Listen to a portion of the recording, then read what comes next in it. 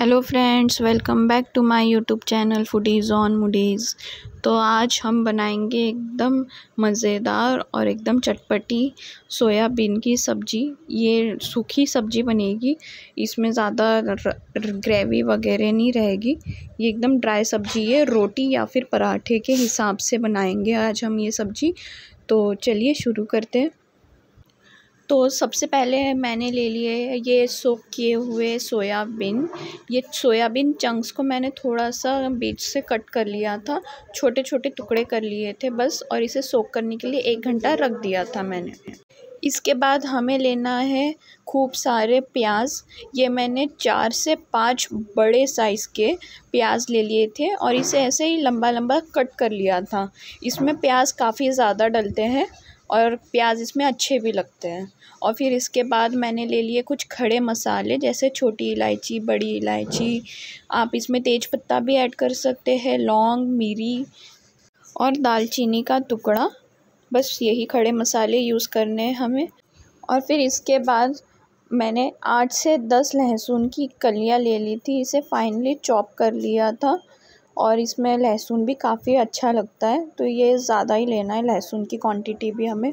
और फिर इसके बाद मैंने कुछ हरी मिर्ची और कुछ लाल मिर्ची, ये भी ले ली थी। अगर आप कम तीखा पसंद करते हो तो आप थोड़ा सा मिर्ची की क्वांटिटी भी कम कर सकते हो। और फिर इसके बाद मैंने दो मीडियम साइज़ के टमाटर ले लिए थे। इसे भी मैंने चॉप कर लिया था। इसके बाद मैंने ले लिए है दो चम्मच सूखा धनिया।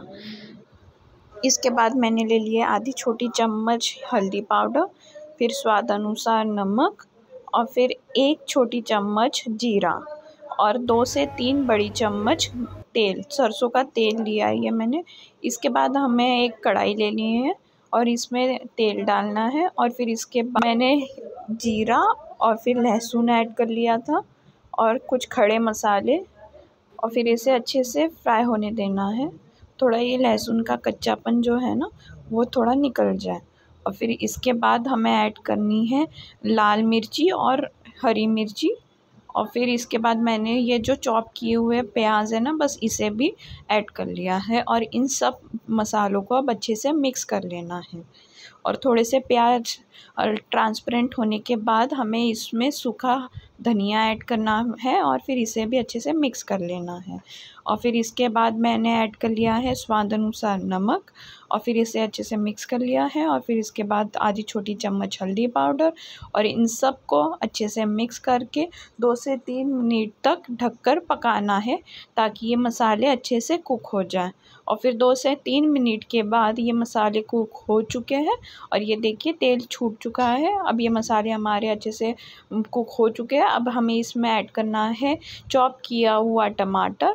और फिर इसे भी अच्छे से मिक्स करने के बाद हम इसमें ऐड करेंगे सोक किए हुए सोयाबीन के चंक्स और इसे अच्छे से मिक्स करते रहना है और फिर इसे हमें 10 से 15 मिनट फिर से ढककर पका लेना है।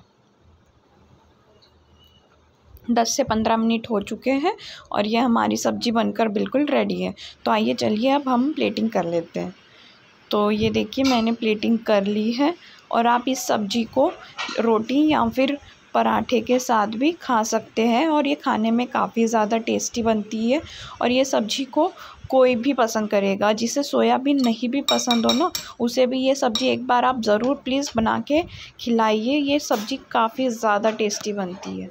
और इस सब्ज़ी को बनाने में मैक्सिमम बीस से पच्चीस मिनट लगते हैं, बट ये एक बार बन जाए तो फिर ये बहुत ज़्यादा टेस्टी बनती है। और इसे एक बार बनाएँगे आप मेरी स्टाइल से तो आप इसे बार बार बनाएँगे और ये काफ़ी अच्छी लगेगी। तो आपको अगर ये मेरी रेसिपी पसंद आई हो तो please like share and subscribe to my YouTube channel thank you